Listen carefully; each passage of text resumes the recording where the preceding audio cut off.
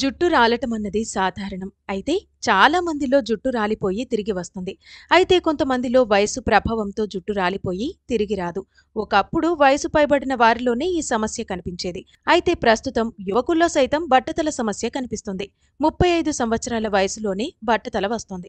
బట్టతలగా మారబోయే ముందు కొన్ని సంకేతాలు గమనించవచ్చు. వెంట్రుకలు క్రమేణా సన్నబడుతుంటాయి. అంతేకాకుండా బలహీనంగా మారుతాయి. జుట్టు ఉన్నట్టుండి ఊడిపోతుంది. తలపై పొలుసులతో కూడిన మచ్చలు వంటి లక్షణాలు కనిపిస్తాయి. బట్టతలకు జన్యుపరమైన కారణాలతో పాటు వయసు పెరుగుదల కావచ్చు. హార్మోన్ల అసమతుల్యత సైతం దీనికి కారణమవుతుంది. వివిధ అనారోగ్య సమస్యలకు వాడుకునే మందుల ప్రభావం వల్ల కూడా బట్టతల వచ్చే అవకాశం ఉంటుంది. ఒత్తిడి రేడియేషన్ ప్రభావం పోషకాహార లోపం కూడా ఇందుకు కారణం కావచ్చు.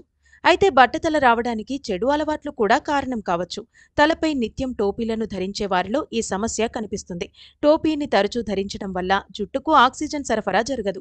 దీనివల్ల జుట్టు యొక్క మూలాలు దెబ్బతింటాయి. జుట్టు ఊడిపోవటం ప్రారంభమై చివరకు బట్టతలకు దారితీస్తుంది.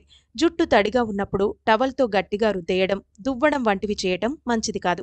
ఇలా చేస్తే జుట్టు రాలుతుంది. ఫలితంగా బట్టతల ఏర్పడుతుంది. హెయిర్ స్టైలింగ్ కోసం ఉపయోగించే రసాయనాల వల్ల జుట్టు రాలిపోయి బట్టతల వస్తుంది. రోజు షాంపూతో తలస్నానం చేసే వారిలో సమస్య అధికంగా ఉంటుంది. వారానికి ఒకటి రెండు సార్లు మినహా ఎక్కువ సార్లు షాంపూలను ఉపయోగించి స్నానం చేయటం మంచిది కాదు. కాబట్టి టోపీని సాధ్యమైనంత వరకు ధరించకుండా ఉండడమే మేలు.